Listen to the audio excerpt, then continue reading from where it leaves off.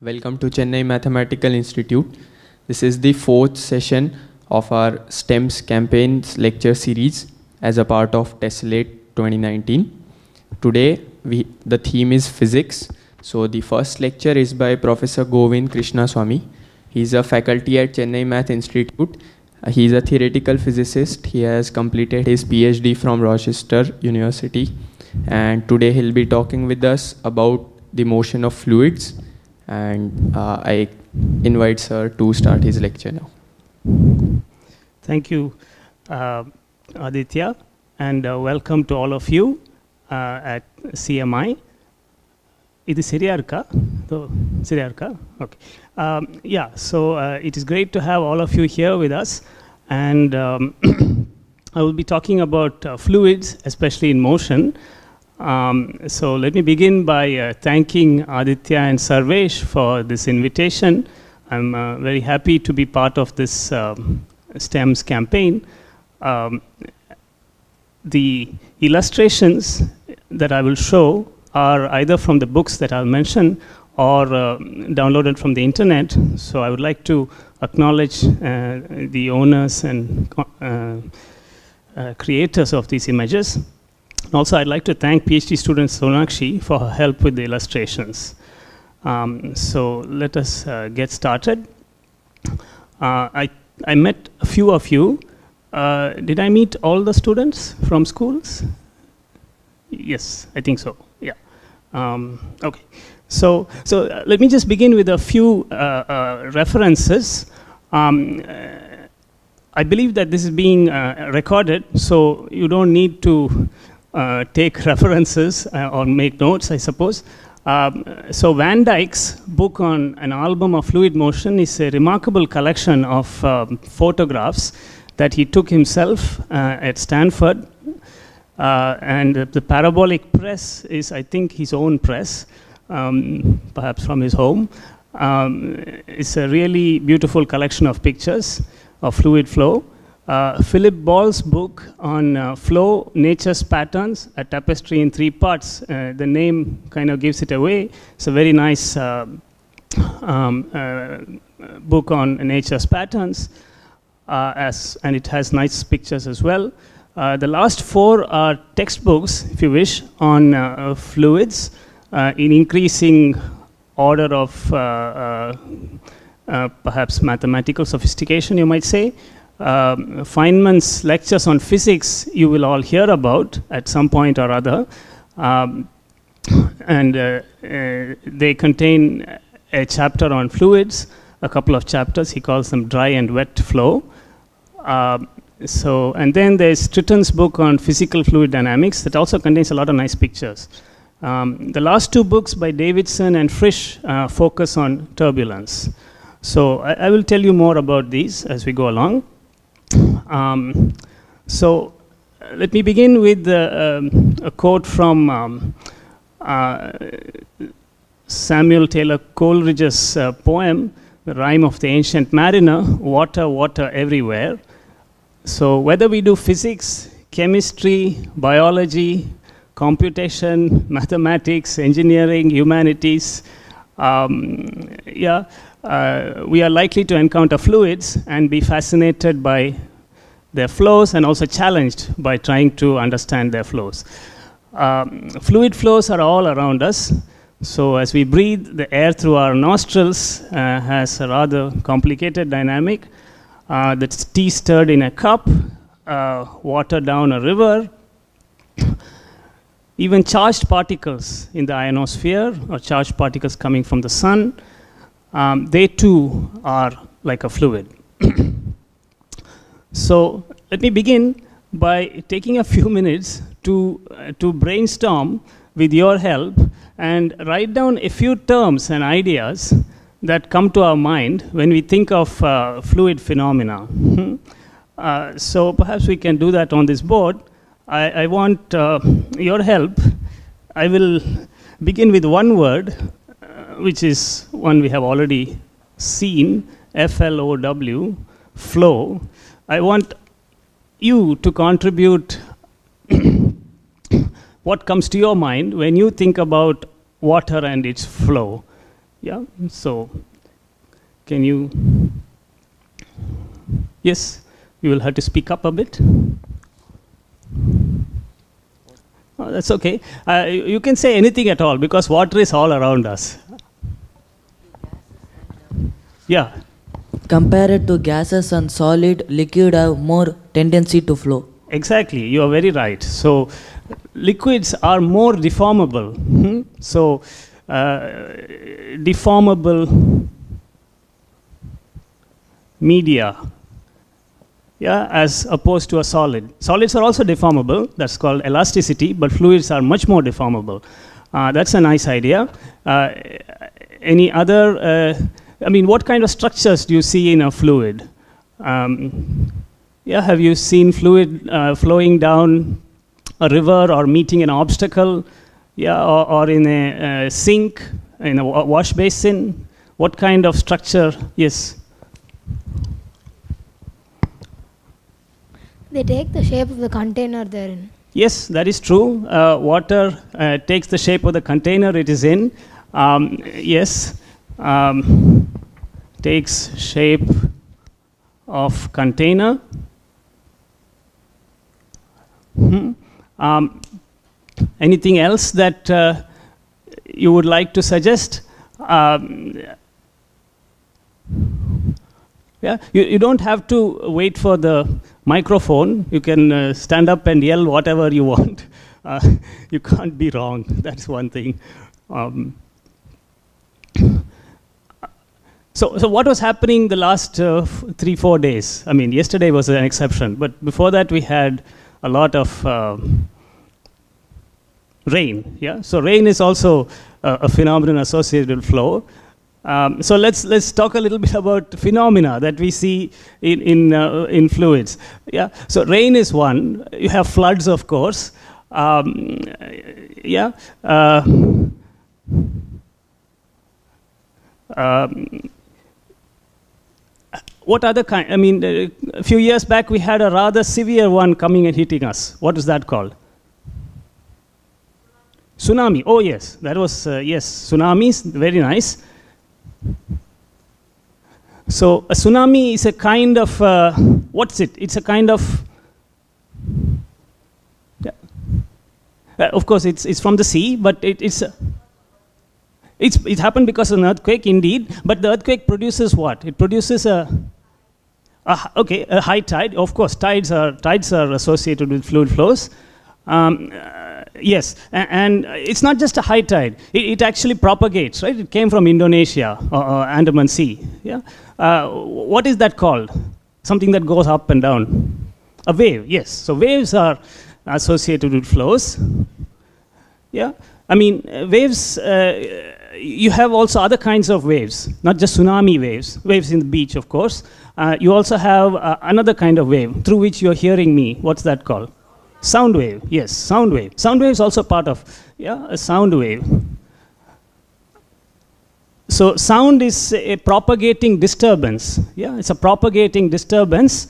Uh, it's a propagating disturbance of density fluctuations. Yeah, density varies, and that variation propagates. So, so you have the concept of density.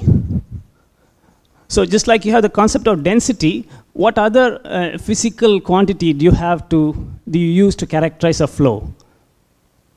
Yeah, density is one thing. How fast it flows. So what's that called? Velocity or speed. Yes, indeed, velocity. So I should drop this. Velocity. so the velocity is everywhere, right? At each place you can tell this way is going, is this way is going that way, and how fast it's going. So that's velocity. Some people call it speed as well. Uh, what else do you have? Uh, yeah, what, what, what's the difference between um, up and down? Height, of course. But what makes, uh, yes, the direction. Uh, but there's so- something that's uh, different between up and down, which makes a fluid flow in a particular direction. Ah, pressure. Yes, potential energy, of course. Yes, yes. So we have energy, of course. Uh, energy, energy in a flow. We also have pressure. Yeah, so, so differences in pressure cause flows, yeah? high pressure to low pressure. Uh, yeah, so, so speaking of, uh, yes, somebody said tsunami, but more recently we had something even more uh, equally catastrophic that hit us. A cyclone, indeed, a cyclone. So cyclones are another class of phenomena, cyclone. So uh, in, in, in, in India, in Chennai, we call it cyclone, but uh, in Japan, what do they call it? Typhoon, yes, so let's put that down also. And, and what do they call it in, uh, in America?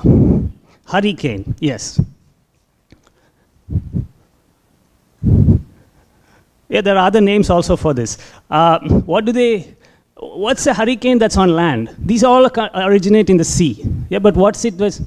Tornado, yes, tornado. Yeah, and all of these are examples of what kind of uh, motion? I mean, it's not moving straight, right? Circular, yes, circular motion. So this, this uh, circular motion is called by a name uh, starting with V. When water goes round and round around a center, what's that called? Starting with V. Or it starts with E. There are two words for it. In, in, a, in a tub with a, with a little sink, uh, uh, uh, a water outlet, whirlpool, yes, whirlpool. That's a nice word. It starts with W, but it's okay. Uh, the word I was looking for was vortex. Yeah, the, these are essentially synonyms. um, the, the word starting with E I will introduce later, uh, unless somebody else tells me. Um, yeah, uh, tell me about, okay, what, what else? Uh, we have weather, yeah? Weather is also a phenomenon associated with fluids. So, so what fluids do you have in mind? Give me examples of fluids. Water and air, gases, yeah? Water, air, gases. Um, water, air, gases in more generality. So, so what's the flow of water called? Technical term. Starts with H. Hydro, hydrodynamics. Hmm? You almost had it. So hydrodynamics.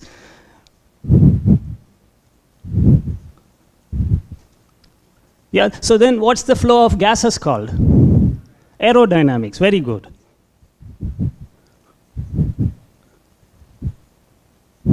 Yeah, so uh, weather uh, is uh, how the atmosphere is today, tomorrow. But what do you call uh, the, the behavior of uh, over long times? Indeed. So you read my mind. Climate. Hmm? So these are different things. I, I got unnecessary R there. Yeah, so you have weather and then we have climate. yeah. Uh, see, the, the fluids we talked about here are all uncharged. Yeah, they're not charged. Hmm? Molecules are neutral, atoms are neutral. But you also have fluids where there are charged particles present. Okay, uh, like in the ionosphere, hmm? you got charged particles there, or, or the solar wind, you got charged particles coming out, like protons, electrons coming out from the sun. Wh- what's a charged fluid called? Plasma. Very good. So you got plasmas as well. Mhm. Uh, what else can you think of? Anything else associated with the, with the, with fluids? Okay, I think you have contributed. Uh, the rest of you are also welcome to, to suggest terms. Um, the rest of you in the audience. Okay, so let me um, give you uh, a few words that, that I put down. Uh, most of them you have already suggested. So flow, of course, waves, yeah, and und- undulating uh, surface of water, for instance. But it need not be on the surface; it can be inside as well. You got ripples, small waves. Sound, sound we spoke about. The wake. What's the wake? Yeah, suppose a ship is going in a river or in, a, in the sea.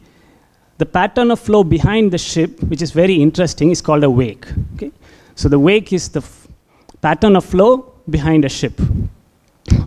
Um, we talked, of course, about aerodynamics and hydrodynamics, and, the, the, the problem of uh, flight yeah, involves a couple of things. You want the plane to go up, and that's called lift. Okay, the upward upward thrust, upward force is called lift, and, and there's also drag. Drag is what it comes primarily from friction. One one of the sources of drag is from friction.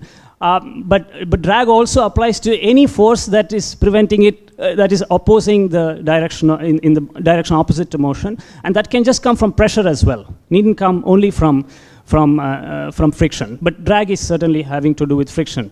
Uh, so we, of course, talked about velocity, density, and pressure. Um, you, you spoke about friction, and, and in fluids, friction is usually called viscosity. Okay, viscosity. So a viscous fluid is offers more resistance to flow. Hmm? So viscosity is friction in a fluid. And have you heard the term streamline? Yeah. So a streamlined uh, aircraft or a, or a, uh, um, F1 um, automobile, yeah, we say streamlined if it's shaped in a good way so that it can travel fast. Yeah, uh, streamline is a is a technical term. A streamline is basically a flow line. It tells you how the velocity is in a fluid. I'll show you pictures of that shortly. Yeah, another important issue which we didn't talk about is different types of flows. A flow can be laminar. Laminar means regular. Okay, very regular. When when you slowly stir water in a cup, you get what is called laminar flow, regular flow. Okay? But when you increase the speed of rotation, the flow becomes complicated, irregular. Yeah? And that's called chaotic or more precisely turbulent. Okay?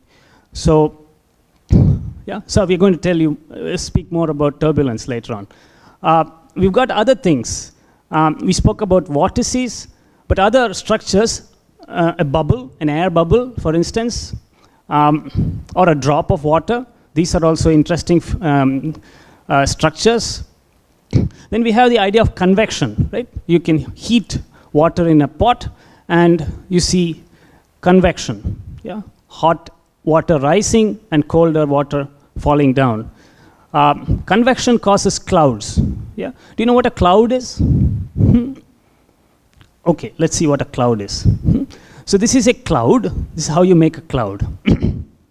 so this is a plume of ash and gas from Mount Etna. So Mount Etna is an active volcano in uh, Sicily, in Italy, and uh, it's been erupting of late. So this is a picture of uh, the erupting volcano, and uh, the plume is the, the column of gas and dust and ash that's going up. Now, let's take a moment to say what a cloud is. Okay, so we all see clouds up there. But how do clouds form? They form just like this. Hmm? Let's see how that works. The ground is hot, yeah, it's heated by the sun's, sun's rays. Hmm? So the water vapor here gets heated and it goes up in a column. Hmm? Just that we don't see the column because it's transparent to light. Okay? So we don't see that light. We don't see the column of air rising. But then when it reaches a height, the temperature there is much lower and the water condenses. The water vapor condenses. And when it condenses, it reflects light much more effectively. Yeah?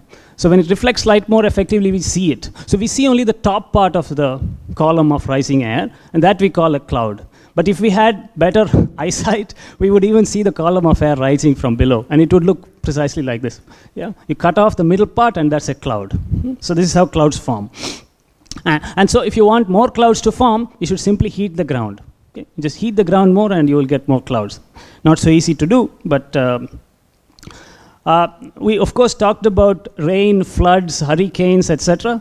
Um, and, and there's another concept. A flow can be compressible or incompressible, right? I mean, if you can compress a, a balloon, you call it call the air inside compressible, but typically we cannot compress water so easily. We call water incompressible. Okay, so there are two types of fluids: compressible ones and non-compressible ones. Um, we have other, uh, in the case of compressible uh, media, we have things like sound waves. We said that sound wave is a compression, a propagating compression. Yeah. Uh, we can also have uh, what's called supersonic flow. If you have a very fast airplane uh, traveling above uh, and it's going um, higher than the speed of sound, that's called supersonic flow, then it can produce what's called a sonic boom. So it's a shock wave, and then if, if you're in the vicinity of a shock wave, then you hear a very uh, loud sound and, and you also feel the pressure variation. So a shock is something, is a wave, uh, it's a front across which the pressure changes very rapidly, density changes very rapidly, velocity changes rapidly. Okay, you go from supersonic to subsonic flow. Yeah, so that's called a shock. Uh, we have other things like uh, whenever you have a surface of a fluid, um, you have an interface between two fluids, like air above and water below. Hmm? So uh, that's called a surface, and associated to surface, there are some forces that are called surface tension. We also talked about plasmas that are charged fluids. Uh, and, and very interesting phenomena happen with charged fluids. Uh, for example, solar flares, the corona of the sun, if you look at pictures of that, or uh, what are called aurorae. Uh, these are the northern lights and the southern lights. Yeah, uh, look for pictures of them. So, so this is just our uh, brainstorming session. Um, let's now, uh, uh, as a scientific discipline, uh, fluid mechanics is quite old, and some of the best scientists have worked on it, starting from Newton through Bernoulli. Has anybody heard of Bernoulli? And, and Bernoulli's principle? Okay, we, we'll say something about that shortly. Euler is another Swiss physicist who worked on mathematician as well as physicist who worked on fluids. Yeah, there's a whole lot of people. I, am going to tell you about each of them hopefully as we go along. Um, all the way up to uh, from Chennai, of course, Chandrasekhar is on this list. Um, you might have heard of uh, Feynman, of course, and Landau, maybe. Um, uh, Ladyzhenskaya is from St. Petersburg uh, in, in, in Russia. So we will meet each of these people. Yeah. So, so fluid mechanics, aside from being a, a, a topic of uh, scientific interest, it also finds lots of technological applications, practical applications, numerous areas. So I, I mentioned a few here. Um, the flight of airplanes is familiar. Uh, birds, flight of birds, weather prediction. This is something we would like to, to do better at um, uh, blood flow in the heart and um, vessels, yeah, our uh, blood vessels, waves on the beach, tsunamis in an ocean, yeah, even control nuclear fusion. Yeah, nuclear fusion is uh, you got charged particles in a plasma that are confined, and, and you confine them, and uh, you want fusion to take place. So you have to have very high pressures, high, very high temperatures, but that's again a problem in fluid mechanics. It's plasma. Uh, you have jet engines hmm, in rockets and in jet planes. Uh, so the, the, the, the, list is unending. Even if you want to build a pump or, or, or, a, or a dam, yeah, you would have noticed that a dam uh, broadens as you go down, right? Because uh, the pressure is more down below.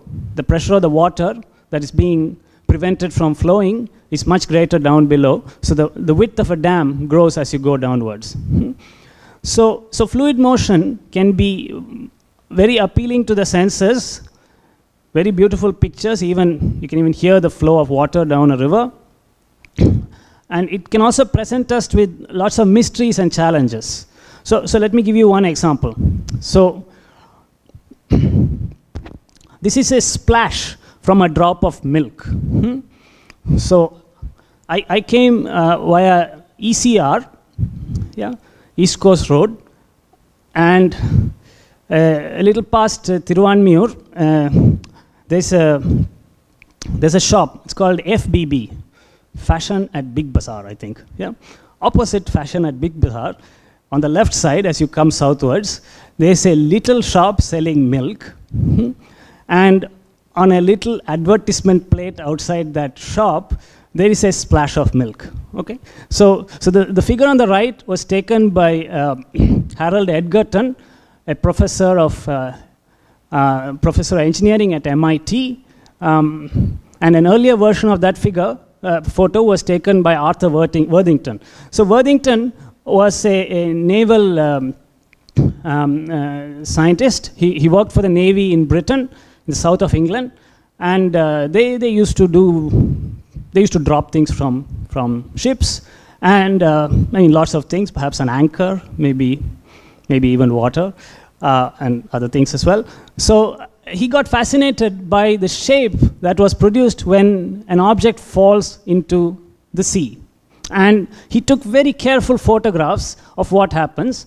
And uh, water doesn't uh, do such a good job of uh, when you try to take photographs. Yeah? So he preferred milk. So he studied um, splashes of milk, and one sees a remarkable undulating corona, as it is called. So, yeah, so this is called a corona. Uh, it's also like the corona of the sun. Yeah, the rim of the sun. If you look at pictures of that, it looks similar. Um, so this is a, an interesting phenomenon. Uh, okay, first question is how did Worthington take such a photograph? Remember, this is 1879, and you had rather primitive cameras at that time. Hmm? The shutter speed of those cameras was nothing like what we have today. Hmm? So if you use such a camera, um, you would not capture such a picture. I mean, the, the, uh, the shutter speed was so slow that you would not. So can you guess how he took such a photograph? Yes. Yeah. So uh, very clever idea. It is that he darkened the room, so no light, switched on the camera. It has a long shutter speed, so I mean, it takes a long time. The shutter open and shut, yeah, while the, yeah, but there's no light, so nothing is being recorded. Then he has a spark, okay, a little spark, electric spark or something, yeah, uh, and that eliminates the, the splash at some point of time. And that's what's captured on the photographic plate. Okay? And, and by timing the flash at different times, he got different stages of the splash. Okay? So a rather clever idea of how to take a photograph with a primitive camera. Now this procedure was uh, perfected, uh, taken to great heights by uh, Edgerton, Harold Edgerton, and um, he used, it is called the stroboscopic method. So I leave it to you to look that up. Um, yeah, and, uh, this is a really beautiful picture. It, it displays some very remarkable phenomena. So, so when the object falls into the milk, initially there is a circularly symmetric annulus, an annulus of water, of, of milk that rises up. Okay? A circularly symmetric annulus of water that rises up, of milk that rises up. But as it's rising up, it when, as the splash develops, segmentation occurs. What was circularly symmetric sort of breaks up into little segments, hmm, and we see spikes emerge. These spikes emerge at regular intervals. Okay? So why does that happen? Yeah. So this is an interesting problem in fluid mechanics, and it turns out that there is an answer to this. Um, this is an example of what's called symmetry breaking. Yeah? Initially, you have a circularly symmetric splash, and then it breaks up into a collection of little spikes. And they're roughly equally spaced. Hmm? Turns out there is a, an explanation for this, but how do you explain such things? Uh, it's a long story, so I'm not going to get to it right now, uh, but we will build our way uh, up to that. So, but how do you understand fluids? Hmm? So let me uh, begin uh, basically you want to build mathematical models. Now, there is a very nice uh, quotation from an article by Eugene Wigner. Eugene Wigner um, uh, was a um, physicist, a mathematical physicist, a nuclear physicist, and in 1960 he wrote a, a nice article called The Unreasonable Effectiveness of Mathematics in the Natural Sciences. So I will just read out his concluding paragraph. so, the miracle of the appropriateness of the language of mathematics for the formulation of the laws of physics is a wonderful gift which we neither understand nor deserve. Okay? Um, he, he worked on nuclear physics and relativity related subjects. Yeah, and, and he found very beautiful mathematical structures in them. So he was in a good position to co- comment. So he says we should be grateful for it and hope that it will remain valid in future research and that it will extend for better or for worse to our pleasure, even though perhaps also to our bafflement, to wide branches of learning. Okay? So, so, so we don't know why, but mathematics seems to be the language of, of physics and other natural sciences, chemistry, engineering, etc. Yeah, and fluid mechanics is no different. Relationships between physical quantities in a flow are fruitfully expressed using what are called differential equations. Okay? So this is something you will meet as you go along. I'm not going to use them. In fact, I will not be able to develop the necessary language of calculus here. Yeah, so the uh, mathematical formulation of fluids is uses calculus. Uh, however, what we will do is to attempt fluid attempt to discuss fluid mechanics, focusing on phenomena and emphasizing concepts and qualitative understanding aided by pictures. Okay.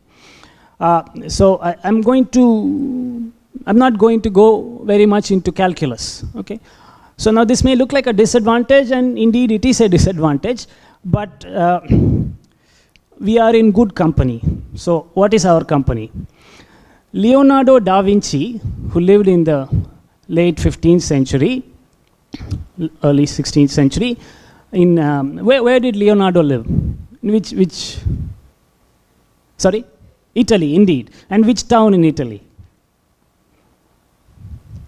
Of course, his name kind of gives it away. I think he's from Vinci, or, or perhaps that's a family name. But he lived in Florence. Yeah? So he, he was uh, he's a Florentine um, um, uh, polymath and an absolutely uh, multi-talented person. He was an artist, a sculptor, a painter, a, a physicist, uh, uh, you name it, um, an engineer as well. So, so he he even uh, devised methods to um, um, uh, divert a river uh, uh, from Pisa and bring it to, to Florence so that they had more water.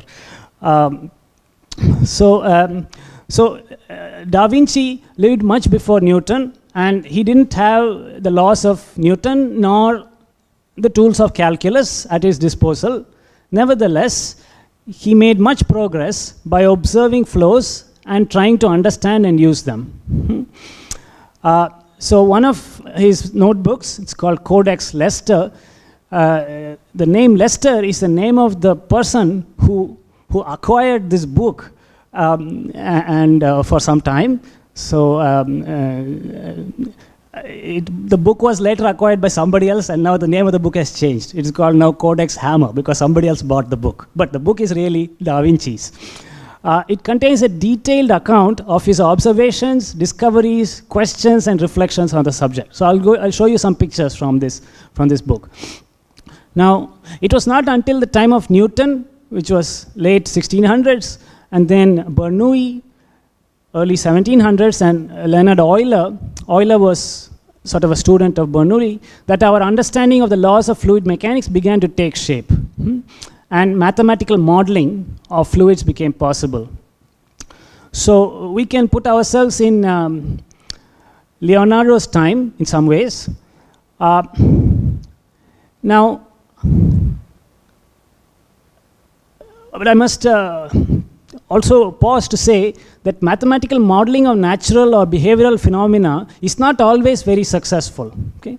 It's been extremely successful in some areas of physics, chemistry, but not on all areas. Yeah, sometimes the phenomena do not match the predictions of the models we propose.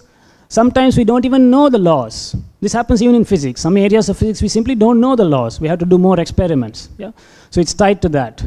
However, in fluid mechanics, the situation is somewhat different. We believe that we know the laws governing fluid motion, and I will tell you a little bit about those laws. However, despite much progress since the time of Euler, it is still a challenge to predict and understand many features of the flows around us. Yeah? So like the previous slide showed you, it is very easy to, to discover, I mean, it's not easy, you need to have great uh, skill to take such photographs, but one sees such phenomena all around us, and the question is, how do you explain it? Hmm? So, so let's. Uh, this is a, a, a statue of uh, Da Vinci. Um, it is uh, the most uh, uh, grand um, picture that I will show you. Uh, uh, yeah, I'll show you pictures of other other scientists as well. so, so let's see how we how we do we think about a fluid. Hmm? So, in fluid mechanics, we are not interested in the microscopic positions and velocities of individual molecules. Okay, that's hopeless. If you want to follow each molecule, well, we can't. We don't have enough power to do that, and it's not interesting either. Instead, we focus on macroscopic fluid variables like velocity, pressure, and density. Other things also play a role like energy, um, temperature, yeah. And these are things that we can assign, these are macroscopic variables, and we can assign it to what are called fluid elements. Hmm. Fluid elements are like fluid particles. They're not single particles, but by a fluid element, we mean a sufficiently large collection of molecules. So, so roughly how many molecules are there in a room? Do you know? Oh, okay. Somebody else knows? It's a very large number. It's not thousands, it's not millions, it's not crores. yeah. Uh, this was something that uh, was understood in chemistry uh, by, uh, and, and the name of the number is called Avogadro's number. Okay, so it turns out, so yes, yes, very good. So Avogadro's number is 6.023 times 10 to the 23. Yes. So, so there are, and that is as many um, uh, molecules of uh, oxygen uh, as there are in, um, uh, uh, yeah, 16 grams of oxygen or so, right? So, uh, or did I say 32? 32 grams perhaps, O2 molecules. So, so anyway, roughly there are 10 to the power of 23 or 24 molecules of gas in this room. So that's way too many to follow. But by a fluid element, we mean a collection of molecules. Uh, collection of molecules so that concepts such as volume occupied makes sense and yet that volume should be small enough so that by macroscopic standards yeah so that the velocity density and pressure etc within that collection is roughly uniform okay so you take a collection of molecules you put it inside a little bag you, you imagine and you treat them as one particle okay so for instance we may divide a container with 10 to the 23 molecules into 10,000 cells, each of them contain 10 to the 19 molecules. Okay, so that's what we mean by a fluid element. So, so this gives us a chance of introducing what we mean by a continuum system. So, so you've learned, you're beginning to learn about particles. Yeah, so. So a tennis ball or a cricket ball is a particle. Yeah. Sometimes we idealize it as a point particle moving around. By contrast, a fluid is modeled as a continuum system. A continuum system is, is a system that has disturbances everywhere. Okay? It's not just a single particle, a collection of a very large number of particles, which you treat as a continuously infinite set of degrees of freedom, you might say. So to specify the pattern of a flow, we must specify the velocity at every point. Hmm? Must specify the density at every point. For a single particle, all you need to say is its velocity. Where is it? Where is it going? Hmm? So, so I, I must say that this fluid treatment has its limitations. A fluid treatment only applies on to phenomena on length scales which are large compared to microscopic length scales. Okay, because of course the fluid is still made up of molecules, and the molecules do collide, they do move, and if you are interested in properties, microscopic properties between two collisions of molecules, well, then you can't use fluid mechanics to understand that. Okay? You have to use what is called kinetic theory, kinetic theory of gases. Hmm? So if we focus instead on macroscopic properties, then we are okay. Yeah. So I want to introduce a very valuable concept which I've just been talking about, and it's that of a field. Okay? Ha have any of you heard of the word field? Yeah, some of you have heard field. So, so which field have you heard of? Magnetic field, excellent, yes. So who introduced the magnetic field? Hmm? Yes. In the, in the 18, uh, 1800s, was a British, uh, a, a brilliant British experimenter. Hmm. His name is Faraday, okay, Michael Faraday. So Ma- Michael Faraday and later on Maxwell, these people championed the concept of a field. It is a absolutely central concept in physics. I will now, I will call it a gift from fluid flow, the concept of a field. Okay, so, so what is that? Uh, so the concept of a point particle is familiar to you and it's of enormous utility. Hmm? Point particles. They move around, they have a location, they have a velocity. Hmm? But at any time, they are somewhere. A point particle is somewhere, right? By contrast, so we imagine a particle to be somewhere at a given time. By contrast, a field is everywhere at a given time. Okay, it's everywhere. For a magnetic field, it will be all over the place. Yeah. So, so fluid mechanics and solid mechanics, elasticity, are perhaps the first places where the concept of a field emerged in a concrete manner. See, the magnetic field, despite its uh, importance and utility, was a little bit difficult to, to, to feel. Yeah? It took Faraday to even think of it in the first place. I mean, you cannot see it, you cannot touch it. On the other hand, a fluid is very uh, concrete, you can feel it, and it is easy for us to understand that all points of a fluid are associated with the density. Hmm? And the density could vary from point to point. Some places could be dense, some places rare. Yeah. So we have rho of r. Rho of r is a density as a function of location. So that's our first example of a field. Hmm? Of course, it could vary with time, and we will say it's a function of time also, rho of r as well as time. That's called a dynamical field. The word dynamics means that things change with time. Okay? Time evolution, dynamics. So we say that the density is a dynamical quantity. Similarly, we have the pressure. So the pressure also varies from point to point. That too is a field. A more interesting field, a more uh, sophisticated field in a sense, is the velocity. Yeah? So the density is, yes, please.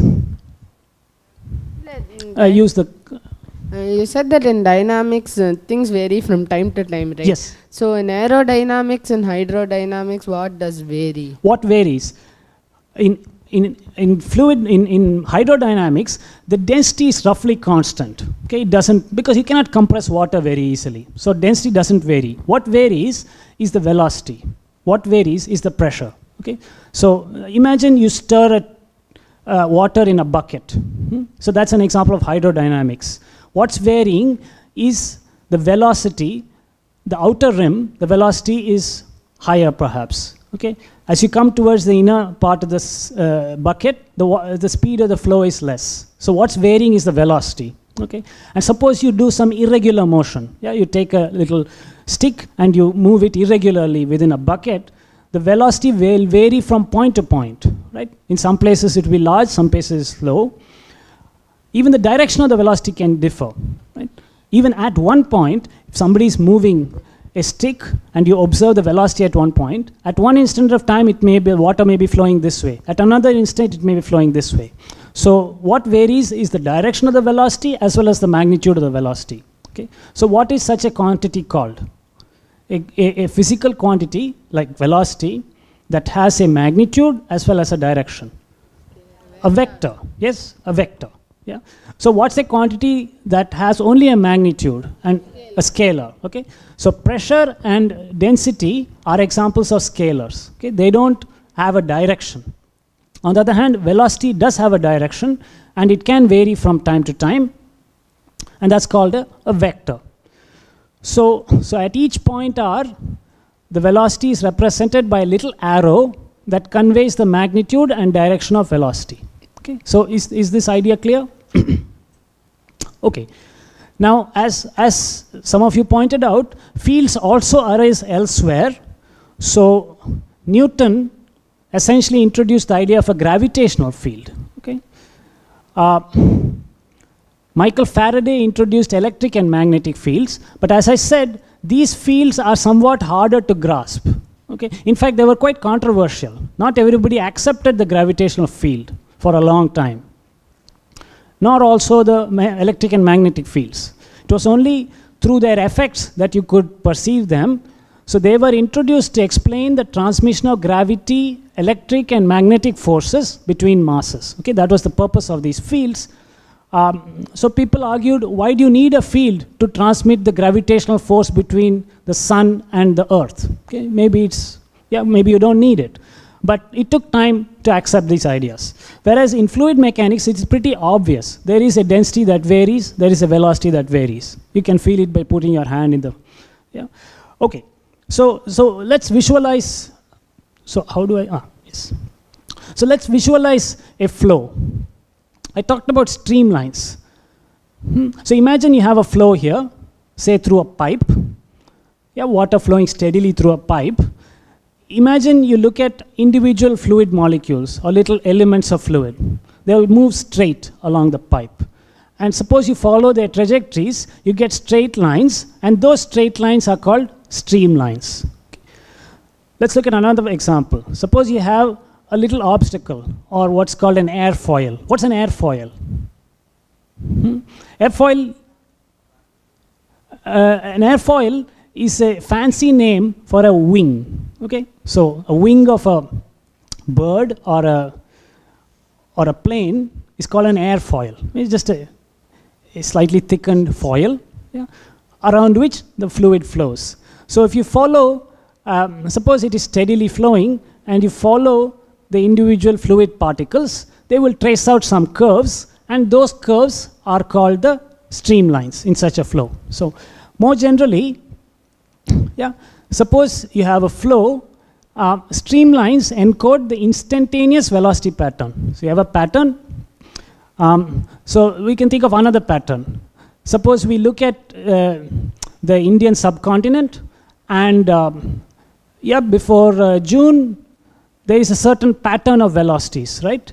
There's a pattern of velocities, perhaps coming from the uh, towards Kerala, yeah, the southwest monsoon is approaching, so you'll get velocity, fluid, uh, air that's flowing towards the Kerala coast. Okay, so you got a pattern of velocities. And then it will flow over the Indian subcontinent, the direction would change. Whereas if you wait till October, November, the direction will change, right? Which way is it coming? In it's called the receding monsoon, right? The, the air in, the, in November, like now, or December, is coming from the north towards the south. Okay, it's called a northeast monsoon. Yeah, so, so the velocity pattern can change with time, and streamlines encode the instantaneous velocity pattern at one instant of time. So more precisely, if, uh, if, a, if a velocity field is time independent everywhere, then it's called steady flow. So if it's, if water is moving, the manner of movement doesn't change with time. Okay? Then it's called steady. Now, if the flow is unsteady, that is at a point, the velocity changes with time, fluctuates or changes, then it's called unsteady flow. And in unsteady flow, the streamlines continuously deform. Okay, so these are some examples of streamlines around objects. Uh, so a flow where the stream streamlines are rather regular, like parallel in this case, is called laminar flow or regular flow. Okay? Uh, there are other ways to uh, visualize uh, streamlines or, or, the patterns of flows. Um, in fact, Leonardo suggested a nice way. See, it's very hard to see the pattern of flow because light doesn't reflect so well from water. Yeah, inside the water, what is the flow like? You can't see by ju just looking at it. So Leonardo suggested you suspend fine sawdust in the water, hmm, and then you can see the sawdust more easily and see what kind of patterns they produce. Hmm. So this was a, an early way of doing flow visualization. There are more sophisticated ways today. Another po possibility is to introduce a dye, a dye, into the flow at some point and let that dye propagate. So dye is continuously injected into a flow at a fixed point P. So let's take this example. You have a, a, a match that is lit and it's uh, burning. And uh, so the, the smoke from this uh, match is going up. Yeah? And there is a complicated flow that, that is produced. such a, such a pattern is called a streak line. Yeah? So the pattern produced by the dye uh, is called a streak line. Yeah, so uh, now that we have the concept of streamlines, uh, we can now tell you about Bernoulli's principle. So some of you said you have heard of Bernoulli, right? Uh, good. So Bernoulli, by doing careful measurements, basically using pipes of water and pricking holes in pipes of water, um, he found the following. He found that the pressure drops where a flow speeds up. Okay, so let's take this example. You have a pipe and you have a, a narrowing in the pipe. Yeah. So you have a constriction in the pipe, a narrowing in the pipe. So here there is some cross-sectional area and the cross-sectional area is less here. What he found is that here the velocity, if it is v1, then the velocity here is higher. Okay, essentially because the amount needs to be conserved. There is no accumulation of liquid somewhere. The density is constant, and so flow speeds up at constrictions in a pipe, and that's also related to the pressure, where the the pressure is lower over here.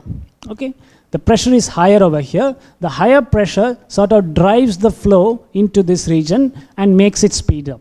So what he found is that the pressure drops when the flow speeds up. So this is expressed in a, in a mathematical formula. Um, if you square the speed, the square of the speed, one half the square of the speed, plus the ratio of the pressure and density, plus the gravitational energy is a constant along streamlines. So we just introduced streamlines. So these are examples of streamlines. So if you go along a streamline, this quantity B will be constant. So over here, the velocity is lower, the pressure is higher, because it's roughly at the same height. Gravity doesn't play too much of a role here. Yeah. So here, the velocity is higher and the pressure is lower, because the sum is a constant. Hmm? Density doesn't change in fluids, in, in, in water very much. So uh, Bernoulli uh, suggested some nice uh, applications of this um, and, and it, it, uh, to medicine. So this was to measure blood pressure. Yeah. So, um, so doctors in, uh, from um, Bernoulli was um, a little bit after Newton, so early 1700s. From then onwards, uh, doctors used to make holes, pierce people's uh, arms and legs, and um, measure, the, and how do you measure the pressure? Well, you just see how, how high up the water rises. Okay, so here you, you make two holes, and you see how high up the water rises. If the pressure is lower, it will rise to a lower height. If the pressure is higher, it rises to a lower, uh, higher height. Okay, so so doctors used to make holes in people's hands and to measure blood pressure, and this went on for several hundred years. Okay, until people found better ways to do this. So rather painful way of measuring the blood pressure. We are fortunate we don't have to go through this, but it was the, the way things were done for several hundred years. Another illustration of this is uh, very nice. Uh, uh, some of you might have done it. Suppose you take two sheets of paper. Yeah, two sheets of paper, and let me try to get a couple of sheets of paper. Um, yeah, and suppose you blow between them, what, what do you think will happen? They go apart? You think that because you're, okay, I, am keeping them this way, I'm going to blow, right? Okay, uh, yeah, you, you got the idea. I think you saw that the two papers come nearby, right? Um, and why is that? Bernoulli's principle. So when I blow here, the velocity is high here. Okay, so high velocity means low pressure. Low pressure compared to the outside. Outside the velocity is much less. Yeah, pressure is higher. So pressure is high outside, pressure is low inside. So it compresses it. Okay, they come together. So it's a nice demonstration of Bernoulli's principle, and you can try it as well. Um, so this is a, a, a um, portrait of uh, Daniel Bernoulli. Um, have you heard of other Bernoullis? From, from which country was Bernoulli? He's European, of course. Uh, not France, it's Swiss. Okay, so uh, Swiss um, Swiss uh, scientist, and he came from a very talented family. There were several Bernoullis over several generations. Uh, Johann Bernoulli, Jakob Bernoulli, Daniel Bernoulli. So you will come across them in your in your studies, um, both in maths as well as physics as well as um, probability. It's, it's uh, all over the place. Um, now, uh, Bernoulli's student was Euler. Have you heard of Euler? E U L E R. Yeah, all of you have heard. Euler's? No, I didn't hear that. okay, Euler circuit. You have to tell me about because I don't know what Euler circuit is. Um, you can tell me later on. So Euler um, was a, was a brilliant uh, mathematician as well as physicist, and I think his official position was an astronomer, uh, celestial mechanics, if you wish. Uh, and Euler was from which place? Well, he's also Swiss. Yeah, he's also Swiss, but he spent a lot of his life uh, in two places, namely in Berlin, in, in Germany, and especially in St. Petersburg, in, in Russia. He, he's spent most of his uh, working life in, uh, in Russia, and um, under the uh, patronage of uh, Catherine the Great. Um, I mean, the, the, the, the, the monarchs changed, but this was one of them. and Euler was a truly remarkable scientist. Okay? Euler went blind midway through his life. Okay? He went blind. Uh, but, I mean, it took a while. His eyesight deteriorated, uh, but he trained himself so well that beyond, once he was blind, he used to dictate his ideas and his equations to his son. Okay? And they would take it down, and he discovered so much. Yeah, all across mathematics, calculus, power series, Euler's name is written across. Um, uh, so, so uh, as a, uh, I'm a mathematical physicist, you might say. So, so the, the slogan is that um, Euler is the master of us all. Okay, so he's uh, a giant among mathematical physicists. Uh, so, um, yeah. So, so there are two ways of looking at fluids. Um, and these are called the Eulerian description and the Lagrangian description. I just want to tell what the two are. It's rather simple. So, see, in the Eulerian description, we are interested in the time development of fluid variables at a given point of observation. So, you decided, you decide that you want to know the speed of flow, air above Chennai or above CMI. So, you fix your location and ask how does the velocity change with time. Hmm? how does the velocity change in direction also? Right? I mean, if you do this carefully, if you open your window, you will notice that during summer, the winds are coming in one direction, whereas in the winter, they are coming from the north, okay, just because the monsoon uh, winds have changed direction. So you can see this happen. Yeah, so, so here, are, this is interesting if we want to know how the density or the pressure changes at a given location. But notice that at that location, different fluid particles will come at different times. Okay, so you are meeting different people with different fluid particles. So that is one way of looking at fluids. You fix your observation point and see what comes to you. Another possibility is that you get in a little boat, like a fisherman, and you go along with the flow. Okay, suppose you get in a little boat and you go down a river and make it a very small boat. Okay? So it's also of interest to know how fluid variables evolve not at a fixed location but for a fixed fluid element, for a fixed fluid particle. So you go along with the flow and ask how does my velocity change? How does the density change? Okay? So, so this description is called the Lagrangian description. So the, the slogan is you go with the flow. Now, uh, I'm going to say a little bit about the laws of fluid mechanics. The Lagrangian description, where you follow a fluid element, is particularly important because the laws of physics apply not to a point of observation, but to a particle. Okay? The laws of physics, and by that I mean Newton's law, for instance, we're going to come to that, applies not to a point of observation, but to a particle or a fluid element. Okay? So um, yeah, so this is a, a picture of uh, Euler on the left and Lagrange on the right. So, so, so from which country is Lagrange? Sorry? Switzerland. I, uh, everybody's been Swiss, Swiss so far, so, uh, but no. Uh, no, what's to the south of Switzerland? Switzerland is in the Alps, right? If you come south, which country do you get? Hmm? France. Uh, yes, France is a little bit to the, uh, to the west. Uh, due south of Switzerland is the country of Leonardo da Vinci. Italy. Italy. Okay, to the, to the south is Italy. So uh, Lagrange is, uh, is French, but he's also perhaps partly uh, Italian. So, so the French and Italians can um, fight over where he's from.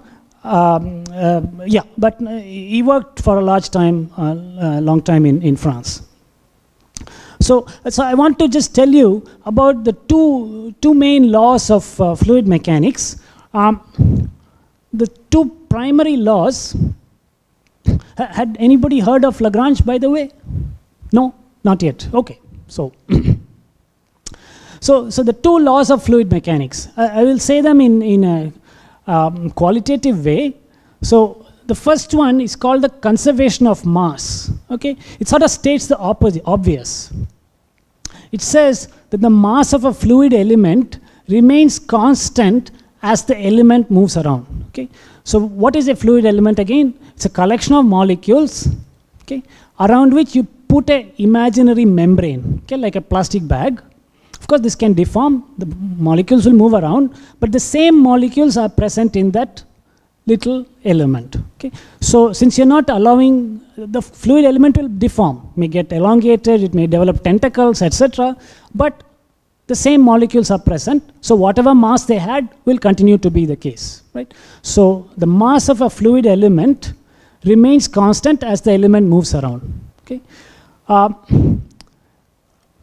of course, the shape and size of the element can change with time. Now, if so, the, now if the fluid is incompressible, then the volume of this element will not change with time. Okay, so that's what we mean by incompressible. That a given set of molecules will occupy the same volume at all times. That's called incompressible. Whereas if it's compressible, that volume can itself change. But the mass can never change. Okay, because the same volume, uh, the volume is defined by the set of uh, molecules that are inside it. We can say this law in another way. Okay, see right now I said you pick a collection of molecules, put a plastic bag around them, and consider them as your element. So that's one way. Another way is you pick a fixed volume. You take a cardboard box with boundaries that cannot change, an imaginary cardboard box. Molecules may enter, molecules may exit, but you fix your volume. Okay. Then what does the conservation of mass principle say? Hmm? It says that the increase in mass of that fixed volume must be entirely due to the influx of molecules and the outflux of molecules. Okay, there must be that balance. So this is the conservation of mass. The mass inside a fixed volume can change only for two reasons. Either molecules come in or molecules go out. Okay, so this is the conservation of mass idea. One can write a differential equation for it, which I won't do here. Yeah. Now, so as I was saying, if the volume of a fluid element changes with time, we say that the fluid is compressible. So gases tend to be compressible, whereas liquids tend to be incompressible. So typical flows of water are incompressible, whereas high speed flows in air tend to be compressible. Now, as, as a rule of thumb, a flow may be treated as incompressible if the flow speed is small compared to the speed of sound. Okay, let's try to absorb this idea. A flow is incompressible if the flow speed, that is the speed of molecules, speed of the velocity, is small compared to the speed of sound. Okay, so now, wha- what is sound? Hmm? Sound came up a little while ago. Sound is a disturbance, it's a propagating disturbance through which density changes are propagated. Okay, density variations are propagated. Mhm. So, a sound wave can only exist in compressible flow because it's a density variation. If it's incompressible, densities cannot change. Okay? So, Yeah, suppose your flow speed is much lower than the speed of sound. Hmm? Yeah, then the density variations let me try to say this in a simple way. Uh, so what I want to convey is that a flow may be treated as incompressible if the flow speed is small compared to the speed of sound. Okay? Uh, so sound, the speed of sound is the speed at which density variations are conveyed. Signals telling you how density variations happen are conveyed at the speed of sound. Okay? So if, if the speed of sound is much, much higher than the flow speed, then it happens almost instantaneously. Okay? So that is when the fluid is called incompressible. Okay? Uh, yeah, so um, I, I, think it takes a little bit more effort to convey this idea, so let me not try to do that uh, over here. Um, but let me just convey, uh, tell you this uh, the, the terminology at least, flows at speeds that are lower than the speed of sound are called subsonic, and flows at speeds higher than the speed of sound are called supersonic. Okay, so you might have heard these terms. Uh, so an airplane at moving at Mach 2, for example, what does Mach 2 mean? Have you heard of the term Mach number? Yeah, okay. So the Mach number is the ratio of the speed of the fluid relative to the speed of sound. Okay, so Mach 1 means the flow speed is equal to the speed of sound. Okay, that's called Mach 1. Mach 2 means you are traveling or the fluid is traveling at twice the speed of sound. Okay, so Mach 2 would be supersonic, okay, twice the speed of sound.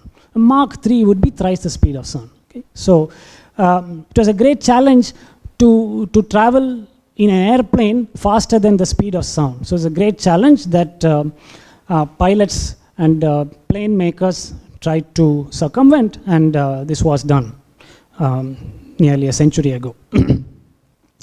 yeah, so um, uh, not a century, it's uh, less than that. Yeah, so, so conservation of mass is the first law, if you wish, of fluid mechanics. You need one more law of fluid flow, and this comes from Newton's law. Okay, so have, have you come across Newton's second law? Heard of Newton's second law? Some of you may have heard of it. So Newton's law for a particle says that the mass times acceleration is equal to a force. Okay, you have come across it.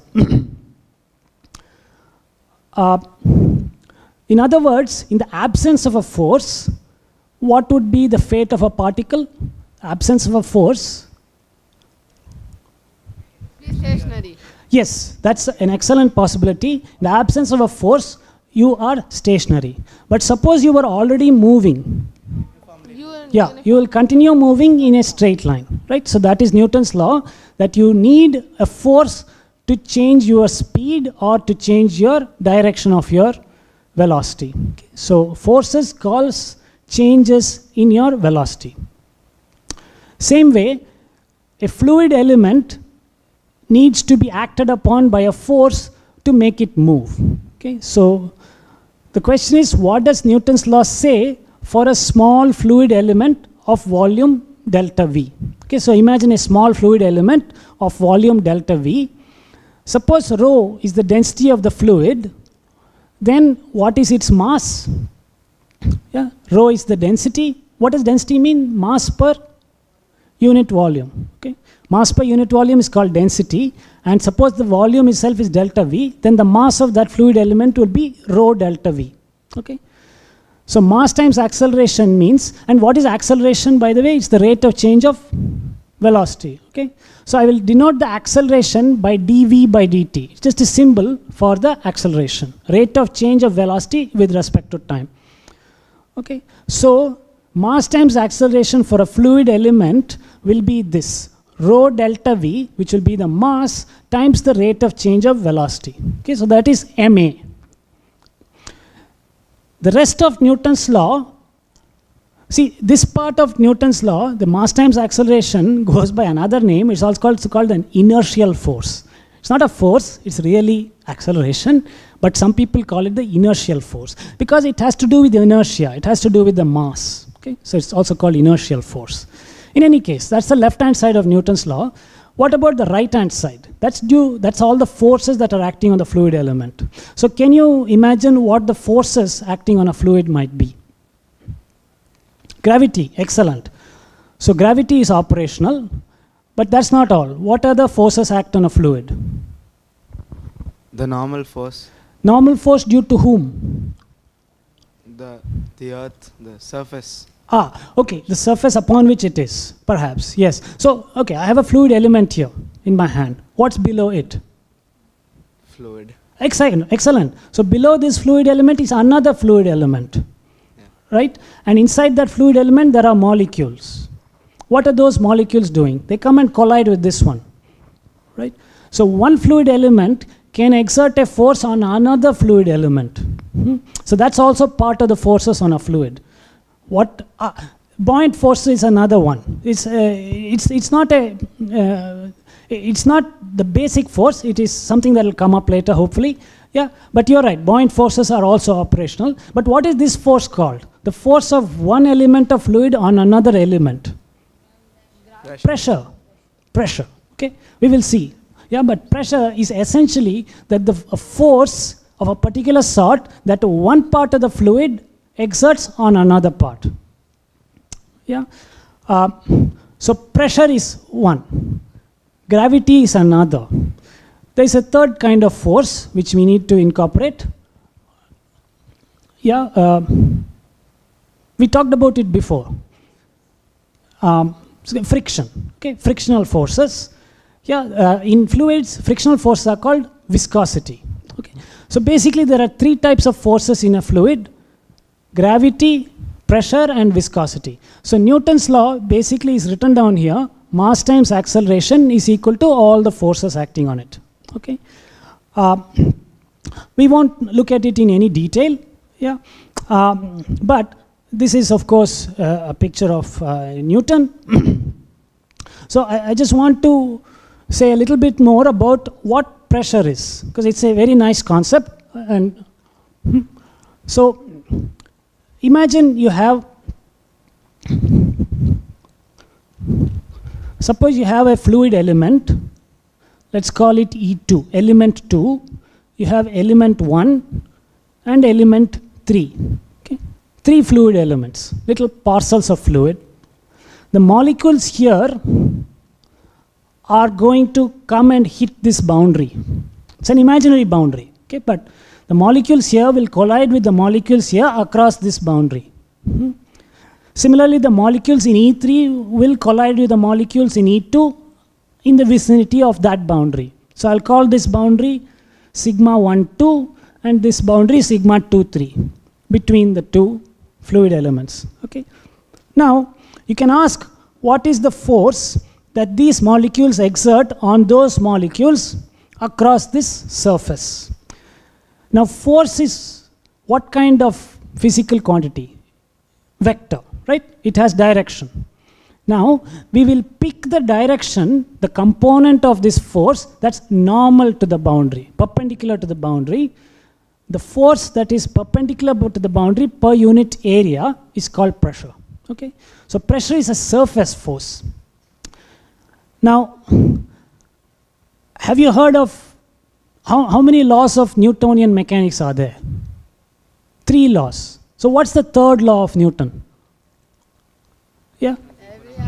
Every action has an equal and opposite reaction. So you've heard of this, right? Let's give a very nice illustration of Newton's third law. Okay. We have the force due to element 1 on element 2 perhaps even the normal force, perpendicular component. Yes, please.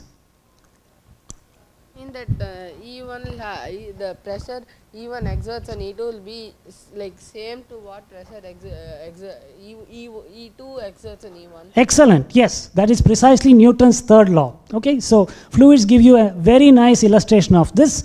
The pressure or the force exerted by E1 on E2 is equal in magnitude and opposite in direction to the force exerted by E2 on E1. Okay? Yes, please. But it may not be necessarily in the opposite direction, right? It can also be in the other direction. Ah, it may be, and in that case, Newton's third law is not valid. Okay, so this is a good question. It's an experimental question. We need to do experiments and find out whether Newton's third law is true or false. Okay, so uh, but let me make a long story short. What is found by doing experiments is that this is in fact true. The force that E1 exerts on E2 is exactly opposite to the force exerted by E2 on E1.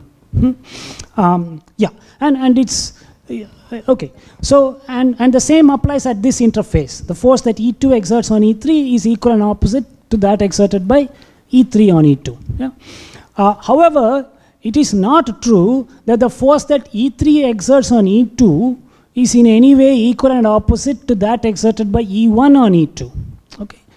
That's not the same two bodies. Newton's third law applies to two bodies when you exchange the roles of the two. Okay, but here we have got three bodies. Okay, so it could very well be that the pressure that E1 exerts on E2 is more than the pressure that E3 exerts on E2. Okay, so suppose that is the case. Then what will happen to E2? Let me repeat. Suppose the force that E1 exerts on E2 yeah, is in this direction and of that magnitude. And the force that E3 exerts on E2 is in this direction and of that magnitude. What is the fate of E2? Yes. Same place because this thing I- It E2 will stay in the same place or will not? It will. Ah, it will. Okay, and why is that? Yeah, it's a balance force because water force E1 exerts on E2, it will exert back on E1. Ah. Same thing with E3. right? Uh, no, no, no. Let's be careful. We are asking for the motion of E2 alone. Okay? How does E2 move?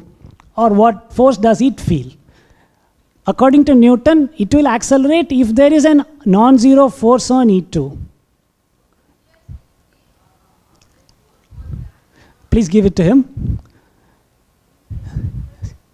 Yeah. In, case E3 applies more force on E2 uh, than E1 does apply, Yes. then then like Then- the whole 3 as a system might move this side. Yes, possibly. Yeah. Uh, yeah, you have you have the right idea. So, and, and my picture tries to illustrate this.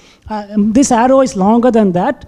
So, if the pressure here, the pressure due to E1 on E2 is larger than the pressure due to E3 on E2, then E2 is going to what? Accelerate to the right. Okay, that's what Newton is telling us. Okay, so the message, yes, you have a question? So the message is that if the pressure is constant throughout a fluid, then there's no acceleration. That is, you need pressure differentials, you need pressure gradients, a variation in pressure in order to cause motion. Okay? So motion is caused by pressure gradients. Okay, so fine. Now, so we talked about the normal component of the force.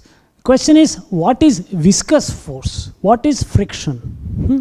Friction is also due to molecular collisions. Friction is also a surface force. It differs from pressure in just one way. Pressure, I said, is the normal component of the force due to the molecules in E1 on E2. By contrast, frictional force is the tangential component. Okay? Because the force due to E1 on E2 is not purely normal. It can have also tangential components. Right? Those tangential components give rise to viscosity. They give rise to friction. Okay? So for instance, you have two layers of liquid flowing upon each other, one faster than the other, yeah, then you have friction at that layer. Okay, so fine. Uh, so if you put these things together, the precise mathematical form of Newton's second law for a fluid, ignoring viscosity, ignoring friction, was first derived by Leonhard Euler, 1757. It's called the Euler equation of fluid mechanics. Now, nearly a century later, uh, the French scientists Claude Navier and George Stokes from Britain figured out how to include the viscous force and the resulting equation for incompressible flow hydrodynamics is called the Navier-Stokes equation. So I've written it here just because I want to write one differential equation at least. Yeah, so the left-hand side is basically the acceleration and the right-hand side is the forces. I'm ignoring gravity over here. Yeah, so this is, I said that the pressure changes, differentials of pressure cause forces, cause, cause acceleration. Yeah, so this is the change in pressure, the gradient in pressure, and this is the viscosity. Hmm. So not to worry about the details of this equation, the quantity nu that appears here, it has dimensions of area per unit time and is called the coefficient of viscosity, coefficient of kinematic viscosity. So it's a measure of how viscous a fluid is. Yeah, so for instance, uh, in typical situations, uh, honey is more viscous um, than air. Okay, so uh, yeah, so now in addition to having an equation in fluids, because you deal with spatially extended fields, you need to know boundary conditions. Okay, for instance, at a solid boundary, how does the velocity behave? You have to specify. So, do you want to guess at a solid boundary? What can you say about the velocity of the fluid? Can it be directed into the solid? No, because it's impenetrable, right? Otherwise, there will be fluid oozing inside the mm, uh, wood. Can it travel tangentially? Yes. Okay, it, that sounds reasonable. That water can travel tangentially. Remarkably, that doesn't happen. It turns out that at a solid boundary, due to viscosity, that the fluid comes to rest. Okay, let me give you a nice illustration of this. You all have electric fans in your house or in the school. Right? If you notice, even though the fan is spinning very, very fast, on the blades of the fan, after some time, there is a lot of dust collected. Have you noticed? In fact, every so often we have to go and clean that. Right? So how could it be? The fan is moving really fast. If there is velocity of air near the fan blade, it must be clearing all the dust for you. Right? But it doesn't. The reason, or rather the de deduction, is that the flow speed comes to zero at a solid boundary. Okay, so this is called the no slip condition. Okay, this is called a no slip. Near a solid boundary, the flow comes to rest. There is neither tangential nor normal components. Okay, so now this equation is called the Navier-Stokes equation. It is one of the important equations of physics along with Newton's equations of, yes? solid the uh, fluid does not like move it comes to zero right? Correct. I mean, So- here it's moving, but as you get closer and closer, it comes to zero. yeah so then suppose uh, water is moving through a pipe then the walls of the pipe is also solid how come the uh, flu water moves Ah, no, water moves. That's an excellent question. How come the water moves? We do see the water moving. Uh, let me draw a picture of that. So this is called Poiseuille flow of water flow through a pipe. And here is the profile of the water flow. Near the edges, after all, if you open one of the drains, hmm, you will find lot of algae and other dust and dirt near the boundaries, right? If the water was flowing fast near the boundary, it would have carried it away. Hmm. Nevertheless, the water is flowing through the pipe, and that's because the flow profile is roughly parabolic. Okay? The velocity is zero at the edges, I mean on the boundaries, but in the center it's much larger, and it uniformly drops to zero at the boundary. Okay? So this is actually the case, and you can uh, I've given you a couple of demonstrations of it. Algae on the sides of pipes, dust on ceiling fans. Okay, they demonstrate that flow comes to rest at boundaries. Okay, so um, so this is uh, the Navier-Stokes equation. Um, along with uh, this is one of the great equations of physics. Uh, along with Newton's laws, Newton's equations for planetary motion, I believe this afternoon you will be hearing something about um, gravity and the motion of planets. So that is coming from Newton's equations of celestial mechanics. You have also other important equations of physics. Have you heard of Maxwell's equations or Maxwell? Have you heard of Maxwell? Okay. Maxwell was a brilliant um, um, uh, uh, uh, Scottish, British um, uh, scientist, and he um, formulated the laws of electricity and magnetism. So that's another collection of equations. It's very important. And you might have heard of Einstein's equations of gravity. Some of you heard of Einstein's equations of gravity. So, so these are, and then what about for an atom? Yeah. Um, in quantum physics, in an atom, you have another set of equations called Schrodinger's equation. Have you heard of Schrodinger, some of you? Not yet. Okay, it's all coming up. Yeah, so uh, I want to place these equations as some of the important equations of physics. So um, uh, these are uh, pictures of uh, Navier and uh, Stokes. Saint Venant was also involved in this process. Okay, so though simple to write down, the Navier-Stokes equation is notoriously hard to solve in most physically interesting situations. Hmm? This is our experience for the last more than 150 years. A key issue is that the equation is non-linear. Okay. Now, you have seen equations like 2x plus 3 equal to 0, right? Can you solve that? x equal to? Very good. Now suppose I'm, that's called a linear equation. A linear equation is one where the unknown variable appears to the first power. Whereas this equation, seventh degree polynomial equation is a very non-linear equation. We call, we call it non-linear and you can't simply tell me the solution or the solutions so quickly. Navier-Stokes equation is roughly like that. It's a very non-linear equation and also quite hard to solve you notice that the velocity here appears to the second power. There's a v here, another v there. Okay, so it's not so easy to take v to one side and other things to the other side. So this is a difficult equation to solve. And to add to that, the conditions at the boundaries and interfaces encode important physical effects like the no-slip condition or surface tension, etc. Then they add to the complications. And understanding the flow near boundaries was an important development. Uh, and Ludwig Prandtl, uh, a famous German engineer and physicist, uh, developed what is called boundary layer theory. How do flows change near a boundary and what happens to the viscosity there? Okay. Now, uh, the Navier-Stokes equation is a very venerable equation of physics.